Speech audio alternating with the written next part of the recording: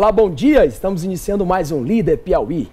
Criatividade, inovação e grandes ideias são características de um bom empreendedor. O entrevistado de hoje é um apaixonado por tecnologia e um incentivador de pessoas. E é por essas e outras que o Líder Piauí de hoje traz Joselé Elias Martins. Joselé é formado em Ciências Contábeis, com especialização em Marketing e Análise de Sistema. Divulgador apaixonado das potencialidades do Piauí na área de tecnologia e inovação sempre navegou no mundo da comunicação e empreendedorismo inovador. Presidente do Instituto Interage, criador da Virada Geek, Copa de Games, Cajuína Valley, com passagem pelas empresas Cajuínas Labs e da empresa Day Garage. Responsável por várias iniciativas na área do empreendedorismo digital no Piauí. Apoiador e organizador de três edições do Startup Weekend Teresina, o maior evento de empreendedorismo do mundo. Tem como propósito ajudar as pessoas a tirarem suas ideias da gaveta e colocar em ação. E é com Joselé que eu converso agora. Bom dia, Joselé. Bom dia, Mazu. Alegria poder mostrar aqui a tua história, Alegria toda minha. Obrigado pelo convite. Uma história que se confunde aí tá, com a tecnologia aqui da nossa capital, é, Teresina, né? A gente já trabalha muito tempo com, com, com tecnologia. Há quanto tempo, Joselé? Você está à frente disso? É, eu, mais de 17 anos, mas Mais de 17 é, anos. Que a gente, assim, para marcar a data mesmo, a gente tem 15 só do, do, do primeiro portal que é, de comunicação, que quando foi os portais viraram veículos de comunicação Sim. e a gente tem, um, tem muito... um, é, a gente tem uma, uma participação nisso. Sim. Quando os portais se profissionalizaram e viraram veículos de comunicação, a gente é, faz parte dessa história. Então, tá.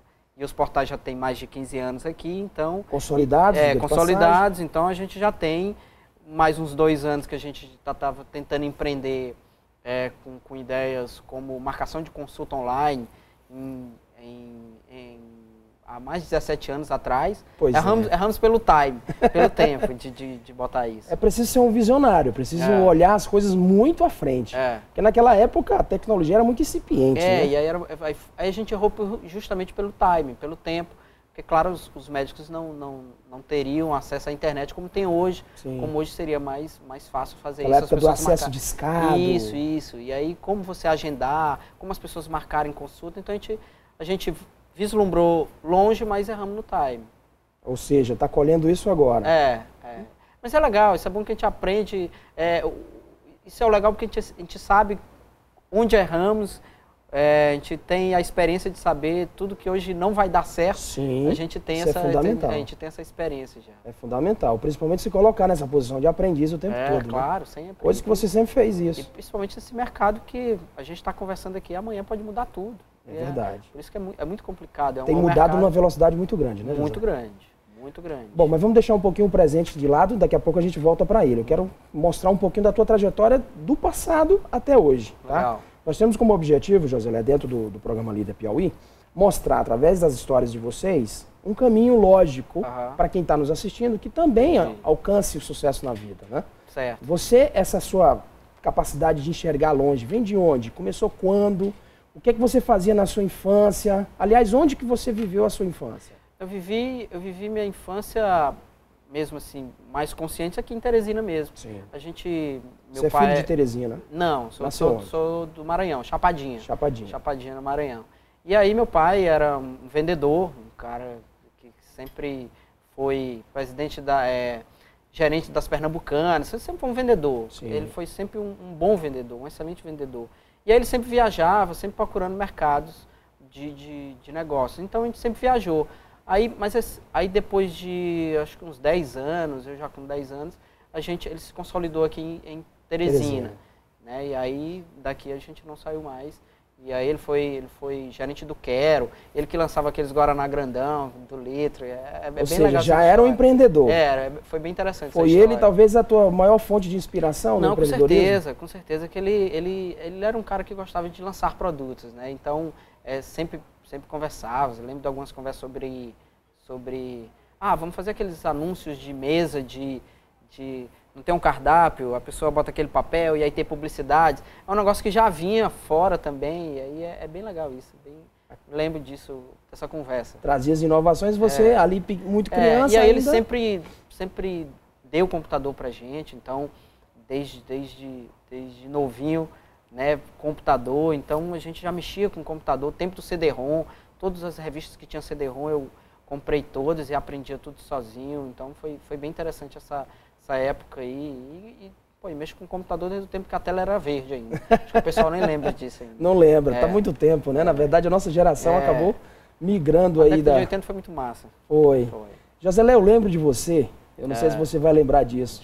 Você era músico. Era. Nós ganhamos alguns festivais do, da escola, do Colégio Objetivo, é. onde é, tinha um festival de música, é. né, e nós estávamos à frente das, das equipes, é. das gincanas do Objetivo. Isso, isso, é verdade. E acabamos nos, nos encontrando isso. num festival desse, o FICO. Isso. E aí onde nós tivemos três músicas, é. inclusive que foram as, as músicas ganhadoras, você tocava numa banda. É.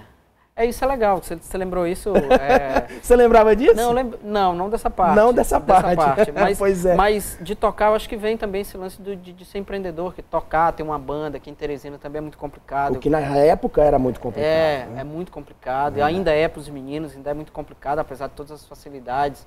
É uma das, é uma das, uma das coisas que a gente quer ajudar os Como meninos. Como era o nome daquela, da tua banda? Então, teve Sem Identidade e teve Tocaia, que foi a primeira banda de, foi, de reggae, Tocaia, ska, que, que que das bandas de reggae, a primeira daqui de, de Teresina. Sim. Meu amigo Paulucci, o Alexandre, que hoje está tá aí na, na Top Gun. É um, é um cara, é um cara Sim. da noite, é um, é um amigo. Mas eu, os o meninos. Edmirto também. O Edmirto também. Não, toquei com. Se eu falar de todos aqui, pô, Fábio Christian, que agora é Fábio Crazy. Pois é, é. Machado Júnior. Machado Júnior. Pô, uma época o, boa. O Casbaf disse que eu comecei a tocar antes dele, que é mentira, que ele, que ele, o Casbaf do Megahertz, que é o, é o é o cara do rock aqui em Teresina. Então, Sim. eu acho que, que, isso é legal. Isso mostra que a gente já, já tem uma, uma banda a empreender. É, você ter os amigos, você ter os parceiros, você ter que discutir qual repertório. E a gente também queria, tocava música autoral, até para participar de festival. E quando você lembrou de festival, mas eu lembrei as pessoas entenderem que teve festivais de colégio que foram no Verdão. Eram coisas Esse imensas. Foi no, no Verdão. Era, eram coisas o nosso imensas. FICO ah, foi realizado no Verdão, inclusive a Gincana também é. foi realizada no Verdão. Era uma estrutura que nós gigantesca, montávamos gigantesca, cara. era um negócio absurdo. Daquela sua época, o que, que trouxe para você em termos de liderança, de aprendizado? Você, você adquiriu essa sua característica de líder desde muito cedo. Você consegue identificar de quem que você trouxe para a tua vida isso acho, como acho exemplo? Que, acho que do pai. Do teu pai. Do pai. Acho que de, dessa, dessa, da banda também, acho que é bem interessante isso que você lembrou. E, e disso de querer aprender as coisas de, na, na, na computação, tá, tá lendo, tá sabendo. Fiz contabilidade porque é, meu pai pediu para fazer e tal, pagou também a faculdade. E, e é interessante disso é que é, depois eu ajeitei o currículo. Fui, fui fazer o que eu gosto, análise de sistema e marketing. Então, eu dei uma ajeitada no currículo nessa área aí. Na época nem tinha curso de, de análise de sistema aqui Não, no Piauí, Não, acho né? que tem, tinha...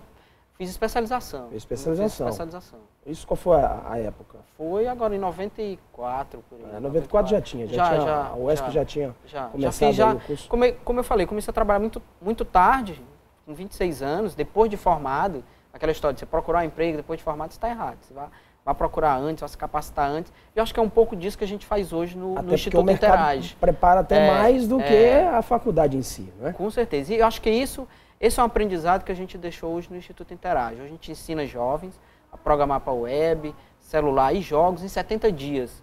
Por quê? Porque o mercado é assim agora. Então, em 70 dias, o rapaz, para receber o diploma, tem que entregar alguma coisa real.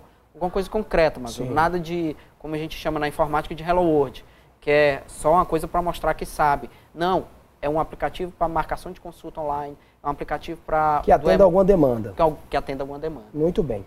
Eu vou voltar um pouquinho para o Instituto Interage daqui a pouco. Beleza. Mas nós temos um quadro, Joselé, chamado Roda da Vida. Hum.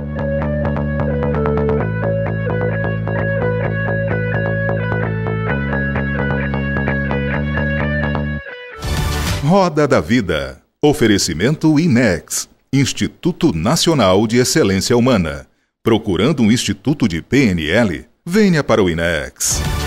A Roda da Vida é uma ferramenta de autoavaliação. Legal. Onde você tem a oportunidade de enxergar algumas áreas da tua vida e você se dá nota uhum. de como você está com relação a cada uma dessas áreas. Né? Certo. Né? Essa Roda da Vida nos traz a oportunidade de encontrarmos onde podemos melhorar, nos, em qual aspecto da nossa vida precisa realmente é, agirmos para que isso aconteça uma melhoria contínua. Né? Mas a gente vai para o intervalo comercial, tá vou pedir que você preencha a sua roda da vida, tá? Daqui a pouquinho a gente volta com Pronto. o resultado da tua roda da vida.